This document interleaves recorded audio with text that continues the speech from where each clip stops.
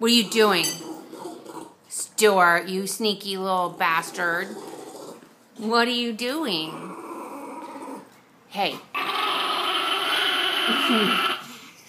Stewart.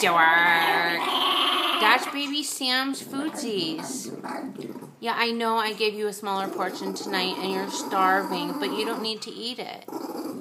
Yeah. We're all on a diet. Everybody, Stewie, leave it. No, you don't need to eat that, Stewie. Come on. What?